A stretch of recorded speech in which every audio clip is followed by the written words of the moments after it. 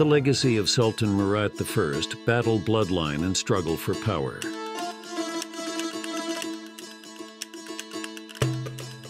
In the heart of the 14th century, the Ottoman Empire stood ready to assert its dominance over the territories of Anatolia and the Balkans. At the head of this formidable empire was Sultan Murat, a man known for his military prowess and tireless efforts to expand the Ottoman Empire.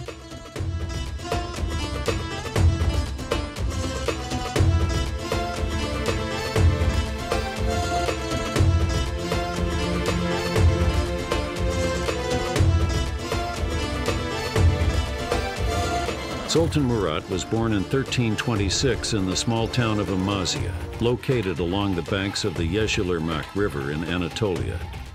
He came from a distinguished lineage as the son of Orhan I, the second ruler of the Ottoman Empire, and the grandson of Osman I, the founder of the empire. He grew up amidst the wilderness of Amasya, where he gained an understanding of the diverse cultures and traditions of Anatolia which would later shape his approach to inclusive and visionary governance.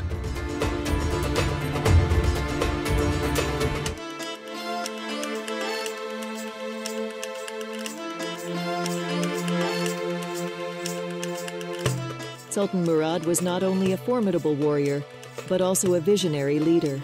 He assumed power in 1362 after the death of his father, Orhan. His reign marked the continuation of the Ottoman expansion begun by his predecessors.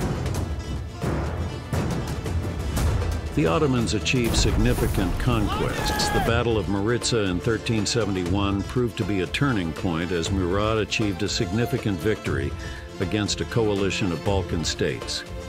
The Ottomans now firmly established their presence in the Balkans. Two years later, Thessaloniki, a precious Byzantine city, fell to Ottoman forces. Murad's skill further expanded Ottoman influence in the region. The conquest of Sofia in 1382 and Skopje in 1385 continued to strengthen the Ottoman position in the Balkans.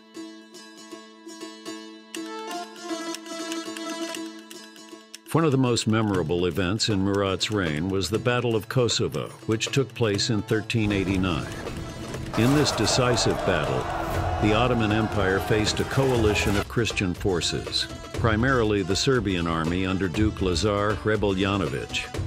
The details surrounding the death of Murat I are the subject of historical debates and legends since the circumstances of his death are not entirely clear. According to some reports, Murat I was killed in battle. It is said that while he was engaged in battle, an assassin, disguised as a Christian soldier, managed to approach him and kill him. This event is often attributed to the assassin Milos Obilic, a Serbian knight. Other accounts suggest that Murat I was killed in the heat of battle, shot down by an enemy soldier. The exact circumstances of his death remain uncertain. Regardless of the manner of his death, the loss of Sultan Murat III during the Battle of Kosovo had a profound effect on the Ottoman Empire as he was succeeded by his son Bayezid I. The battle was fierce and brutal, with neither side achieving a decisive victory. Nevertheless, the legacy of this conflict has survived in the annals of history.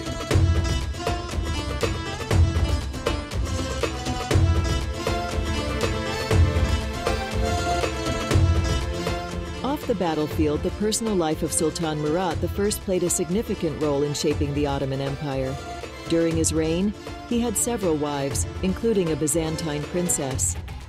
The Byzantine princess who married Sultan Murad of the Ottoman Empire was Princess Helena, also known as Nilüfer Hatun in Turkish.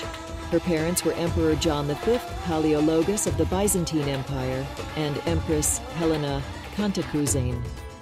Princess Helena's marriage to Sultan Murat was part of a political alliance between the Byzantine Empire and the Ottoman Empire during the 14th century.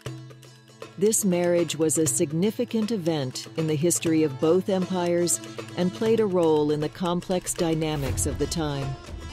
From these marriages, he had several sons, two of whom shaped the destiny of the empire Bayezid, who would later become Bayezid I, and Yaqub, known as Yaqub Celebi, were among his sons.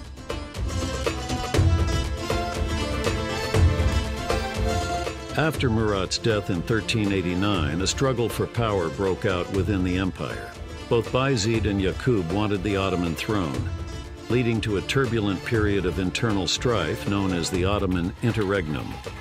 This period was marked by civil wars and power struggles, while each son tried to secure his own access to the throne. The empire was going through turmoil as two brothers fought for power.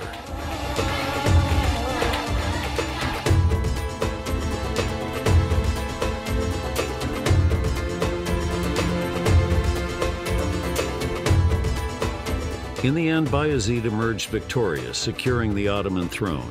He continued his father's legacy, building on territorial gains and administrative reforms.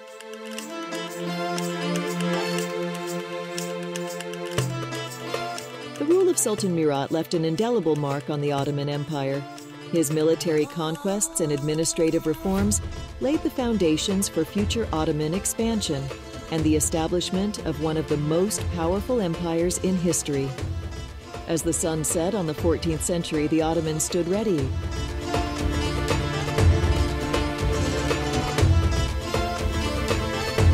If you found this video informative and enjoyable, please don't forget to like, share, and subscribe to History Scope Stories for more captivating stories from the Ottoman Empire. Thank you for watching, and we'll see you in the next episode.